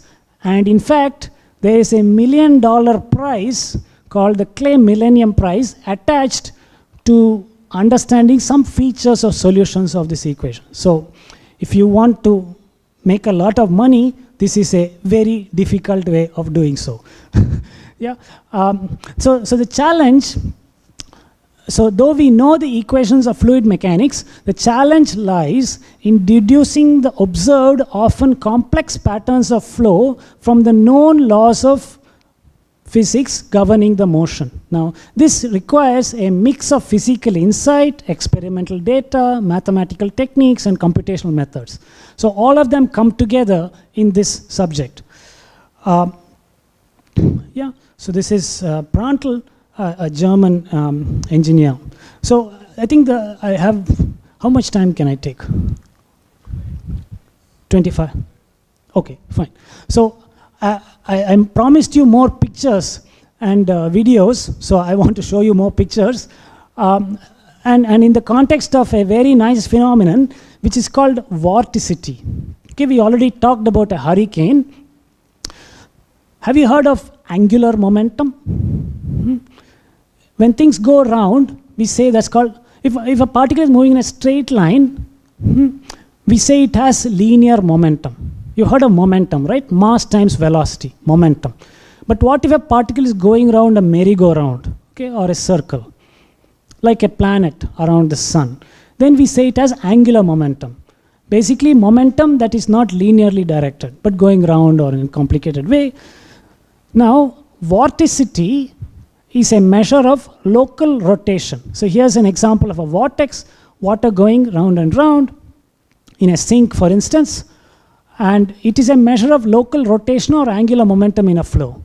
So a flow is called, a flow with vorticity is called rotational. It has some rotational character. A flow without vorticity is called irrotational. Yeah. Now, vortices are manifestations of vorticity in a flow. Okay, so this is um, just the terminology. And vortices are ubiquitous in flows. I'll show you lots of pictures. So I just wanted to make a small analogy. Around here, we have lots of kinds of bananas. I've uh, collected various names.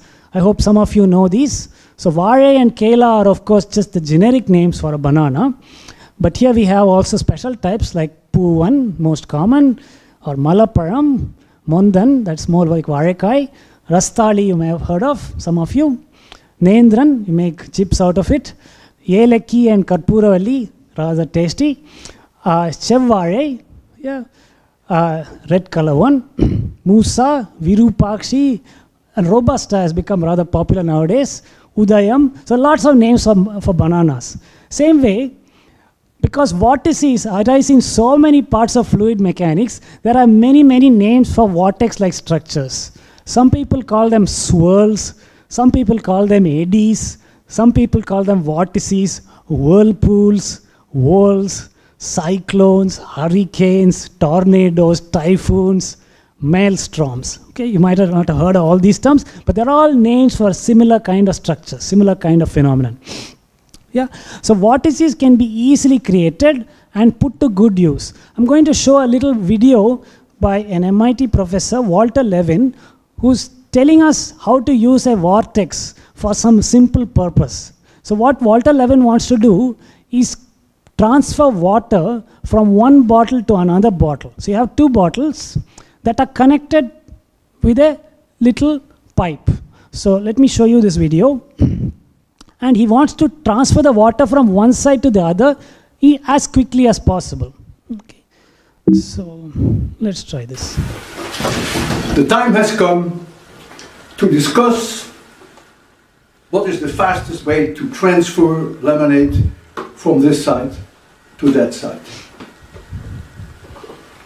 The way that is very slow is this way. Bubble by bubble by bubble by bubble. Why is that happening? The pressure here is always lower than the pressure there. Because the pressure here is the same as the pressure there plus the hydrostatic pressure of this liquid. So that means that the air wants to go up. But when air goes through this very narrow opening, it actually closes off the liquid from going through the opening. So it's not until the air bubble has passed that liquid can flow again. And so you get a game, a play, liquid goes in, bubble comes up, then liquid goes in, it's an alternating process. I call that the bubble technique. The A plus solution is that you create in the liquid a vortex, a tornado. So you spin the liquid. Remember, the solution to the egg problem was to spin it? Well, here you spin it also, but for a different reason. So the centrifugal force will move the liquid then to the side and creates a permanent opening in the middle so that the air can flow without forming bubbles which close off the small opening. So are you ready for this? I will show it at least twice. So here's the bubble solution. Slow, tedious, but now watch. Vortex solution, tornado. You see it? Isn't that gorgeous? Yeah, so this is uh, Walter Lewin's uh, demonstration of um, how to use a vortex to transfer lemonade rather than water from top to bottom. So I hope you got the idea. Um, yeah, but, uh, okay, I need to go back here.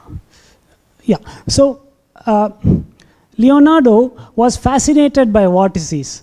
and many of his sketches contain detailed illustrations of eddies in fluids. Yeah, so he was an excellent artist, and these are many of his illustrations of uh, eddies of various sizes and shapes, and directions, yeah, uh, patterns in a flow. The eddies can be of various sizes, as I said. This can be in a, in a in the sea. You can have eddies in the sea. Uh, they're of course quite bad if you're trying to travel in a ship over there. They they can even be in the atmosphere. So this is an atmospheric um, um, uh, pattern. We've got an enormous um, cyclone. Um, so um, eddies can be of various sizes. Leonardo even noticed similarities between vortices in the wake behind a flat plate and braided hair. So let's look at this. You have water that's flowing down this way, okay? And you put a little obstacle, a little flat plate. The water has to go around it, and in the process of going around it, some complicated flow pattern is produced, lots of eddies are produced, and they get, in, in his imagination or in the way he looked at it, they get braided in a pattern that was rather similar to that of hair. Okay? Uh, so, and, and, he made very nice illustrations of this. Uh, vortex, vorticity also arises in other places. Vortices can take the shape of tubes. See, previously we saw what looked like, this is like a columnar vortex, okay, a column. Of course, it's wider at the top, narrower at the bottom. Suppose it's rather long, then it will be like a tube. Now, suppose that tube is joined up. You get what is called a vortex ring. These vortex rings can be produced. Some people are rather good at it. Hmm. Some people who smoke can take the smoke in their mouth and blow a vortex ring. Okay, so it takes some skill to do that. But there are people who do it much, much better. They are called dolphins. So dolphins, while they are moving through water, can blow vortex rings. So dolphins have a lot of fun with this. Blow a vortex ring. So this is a picture of one of those. And then they chase the vortex rings going around. And um, sometimes they can blow two vortex rings and then one vortex ring can go through the other vortex ring. So it's a lot of fun. So fluid flow tends to stretch and bend vortices. So this is called vortex stretching. Generally vortices get stretched and the cross section decreases. Yeah. Nevertheless, the vortex tubes are carried along by the flow. In the absence of viscosity, vortex tubes survive. They will not die. They may get stretched, elongated, etc., but they don't die. Okay, but in the presence of viscosity, eventually they dissipate. Kelvin and Helmholtz studied vortices and discovered many of the important laws governing vortices. Um, I just want to mention a couple of them. If there is no vorticity initially in a flow, that is no circulation, no eddies, then it cannot develop. It cannot develop in the absence of viscosity. However, viscous forces can generate vorticity, especially in boundaries. Okay? You notice in Leonardo's picture, the flow is laminar over here. You don't even see any pattern. Okay? Before it hits the boundary, before it hits the plate, there are no vortices. But in the neighborhood of the plate, vortices are generated. So vortices are generated in a layer near solid boundaries. Yeah? And vorticity can also diffuse. Vorticity that is produced here can diffuse elsewhere. Vortex tubes tend to stretch and become narrower and as the flow develops, the energy in large vortices goes to energy in smaller vortices to yet smaller and yet smaller. So this is what is observed. We have what is called a cascade. The cascade going from large to small vortices. Finally, at very small scales, the vorticity is sort of destroyed due to viscosity. This was nicely captured in a poem by Lewis Fry Richardson Richardson was studying weather prediction using computers. He wrote the equations of fluid mechanics in atmosphere, put them on computers, and tried to solve. okay, so, but in the process, he understood a lot about vortices, and this is a very nice uh, poem. It's actually a parody on a poem of uh, Jonathan Swift. Uh, who have you heard of Jonathan Swift? What did he write that you read? Maybe Gulliver's Travels, maybe? Yeah. Anyway, so you can look up this uh, poem, but I'll read the fluid mechanical version of it. It says that big whorls, so whorls is another word for vorticity, of, of- for vortices. Big whorls have little whorls that feed on their velocity. Okay. The energy is being transferred from big vortices to smaller ones, and little whorls have lesser whorls, and so on to viscosity. Okay. This is called the cascade from large to small. this is a picture of Richardson, a British uh, scientist. Um, okay, so I have a little bit of time left. So I want to tell you a little bit about turbulence. So in order to get there, I want to introduce what, have you heard of Reynolds number, some of you? Reynolds? No, you heard of Reynolds pen, right? That much perhaps. Okay. Uh, so suppose we consider water with uniform velocity, that is u in magnitude and proceeding in the x direction, flowing down a broad and deep channel, like a big river. Okay, suppose you have a big river, water flowing, and then in the middle of that river there is a bridge. So the bridge has columns. So those columns, imagine them to be like cylindrical obstacles. The water goes around the bridge, around the obstacle. So it meets a cylindrical obstacle of diameter L and flows around it, creating a pattern. Now, it's a remarkable thing that observations and experimentation show. It turns out that if we double the speed, if we double the incoming speed and halve the radius, then the same flow pattern results. Okay? So this is an experimental finding. Similarly, if you triple the speed and make the radius one third, again the same flow pattern results. This is called Reynolds's similarity principle. This is named after a British uh, engineer and scientist called Osborne Reynolds, who did careful experiments with fluids flowing down a pipe in the late 1800s. So the precise statement is that incompressible flows with the same Reynolds number look the same. So Reynolds number is a dimensionless quantity. Yeah. So let me just do a little dimensional analysis here. There are three quantities in this flow. Only three physical quantities. L is the diameter of the obstacle, U is the speed of the flow, nu is the viscosity. And nu has dimensions of length squared by time. Okay, so we have not spoken about it, but I gave it to you. Now, I want you to combine these three things to make a dimensionless quantity. Can you do that for me? Yeah. See, this nu has dimension of length squared upon time. Can you multiply these or divide these three things to produce a quantity that is dimensionless? Hmm? So let me give you a suggestion. Suppose you take L and multiply it by U. Yeah. Wh- what is the dimension of velocity, by the way? What's the dimension of velocity? Yes. Two dimension. It's a two dimension motion. Uh, no, no, no. What's the dimension of velocity? When I say dimension, you, you heard of mass, time, and length. Okay. When, yeah. Yes, please. You, okay. Okay. When we say dimension of velocity, velocity is length per unit time. Okay, you are familiar with that? Velocity is how much it displaces per unit time. Yeah, so length per unit time. So length by time. Okay, that is velocity. Suppose I multiply the diameter by the velocity, the resulting dimensions will be length squared per unit time. Hmm. Because I have multiplied a length by another length per unit time. Suppose I now divide by nu. The resulting thing will be dimensionless. It will have no dimension at all. That quantity is called the Reynolds number. Okay.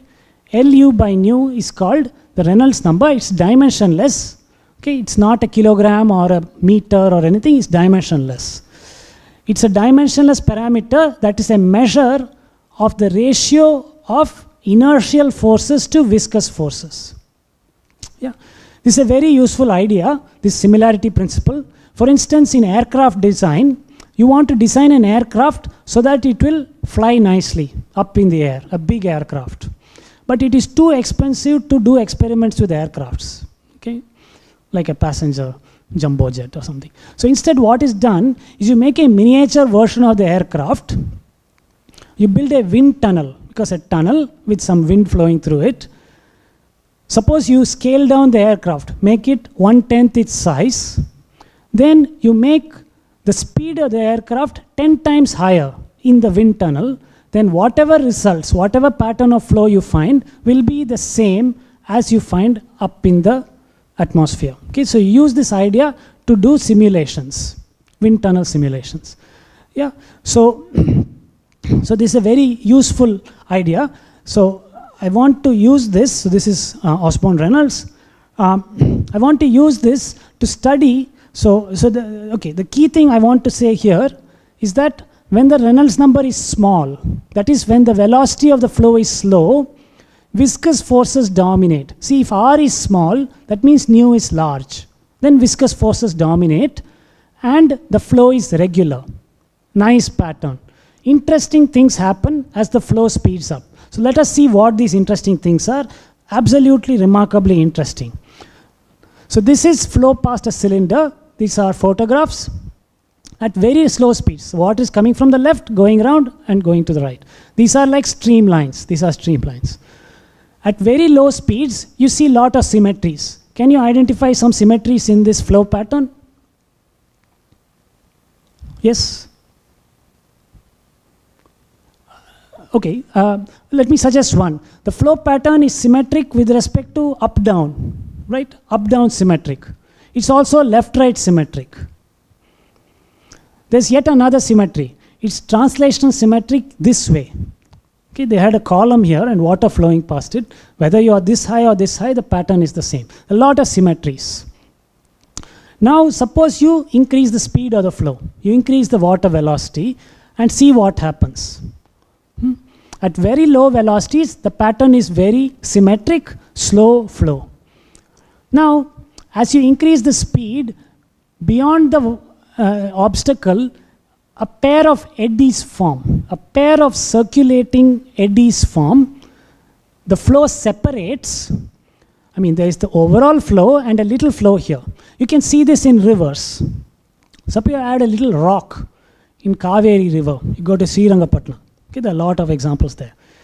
Behind the rock, you will feel, see a lot of dirt, algae, and so on. That's because there is no flow there.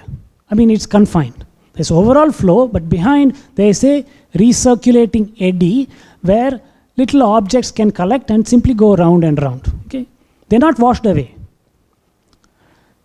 So, this is a pair of eddies that have separated from the rest of the flow behind the cylinder. Now, suppose you increase the speed some more. Then what happens? These eddies will elongate. They will become even longer.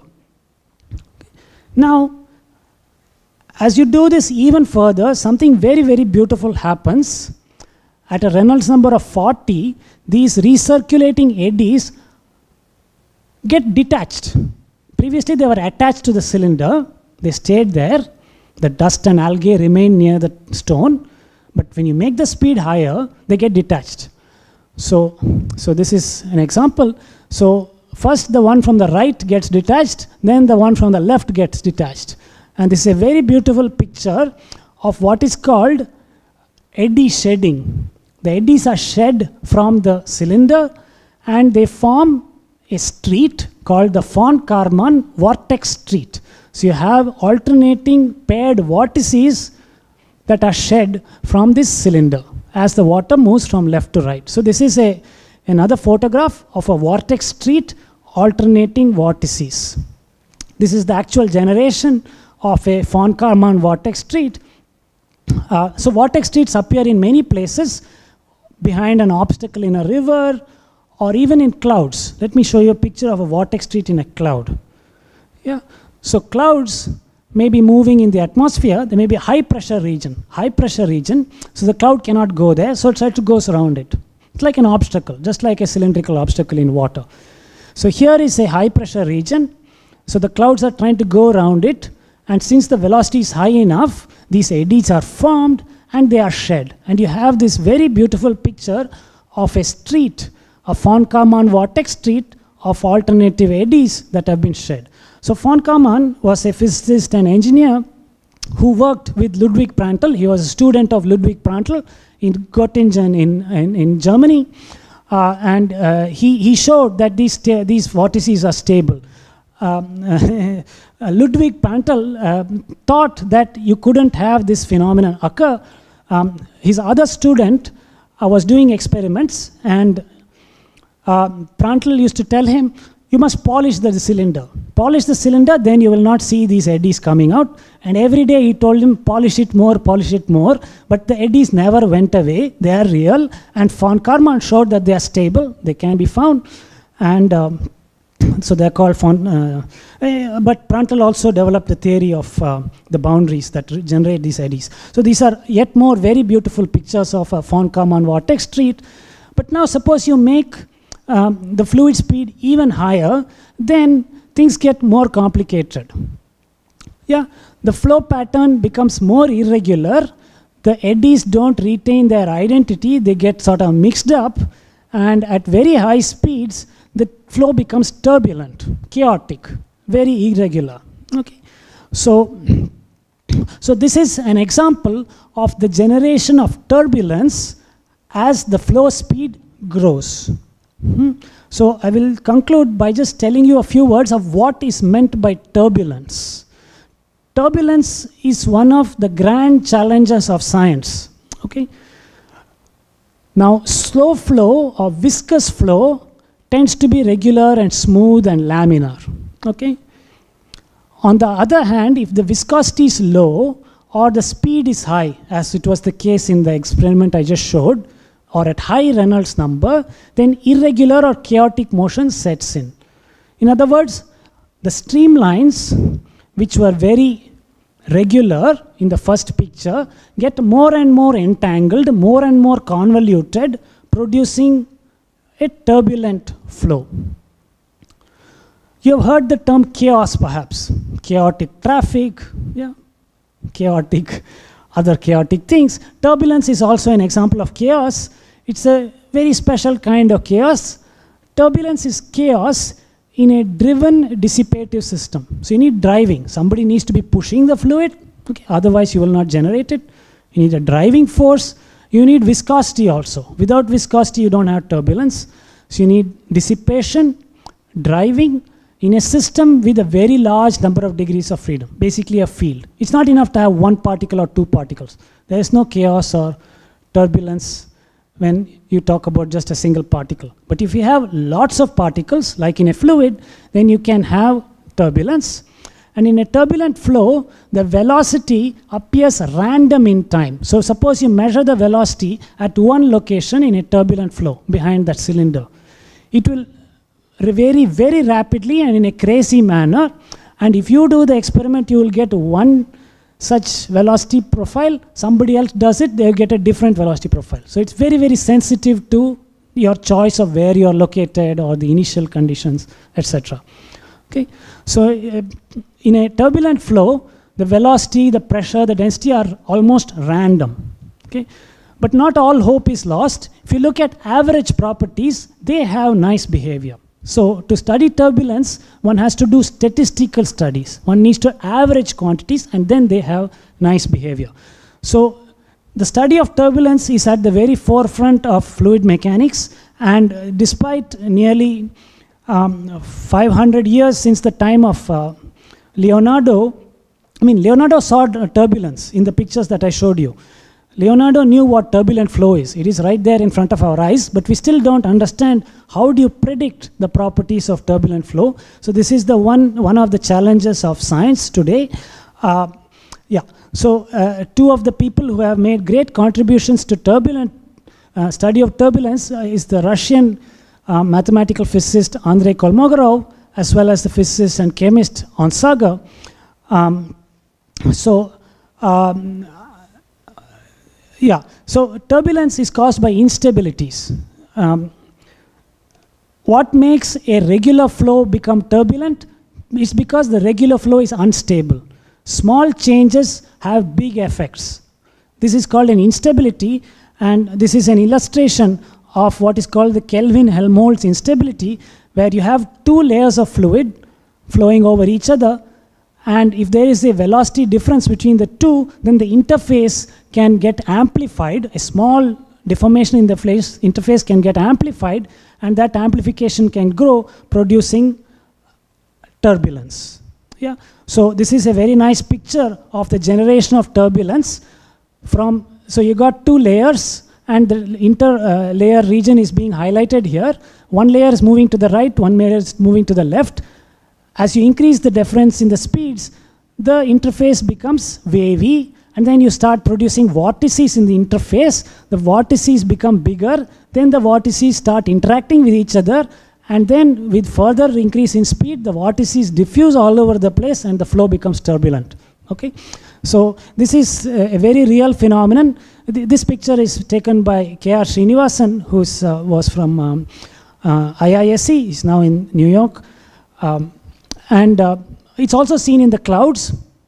So um, you have different layers of, of, of, air in the clouds. You have one layer moving faster than the other, and you can produce such uh, vortices there, and they are unstable, and they can produce chaos. Uh, they can produce turbulent flow. This this is seen in the uh, surface of uh, atmosphere of Saturn. So um, instabilities are all over at all, all scales. So I, I will uh, stop over here.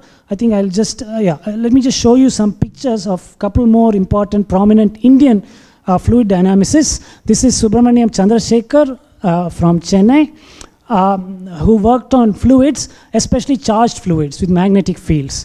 Satish Dhawan is uh, one of the founders of the Indian um, uh, aerodynamics programs, uh, and uh, um, Vishnu Ghatage, of whom I could not find a picture, was a student of uh, Prandtl and developed the aero, aerodynamic engineering program in IISc. And these are people who came later. Roddam Narasimha is currently in Bangalore, as well as Sreenivasan. They are prominent Indian um, Indians who have worked on the subject. Mathematical results on fluid dynamics, uh, key results have been due to Jean Leray, who used to stand the, on the bridge in the river Seine in Paris and watch the water flow and that inspired him, I think. Uh, Ladyzhenskaya in St. Petersburg has some of the most advanced results in, um, in the mathematical theory of turbulence and in fluid mechanics. So I will conclude with a nice uh, picture of a von Karman vortex street in the clouds above uh, Yakushima Island. So um, thank you very much.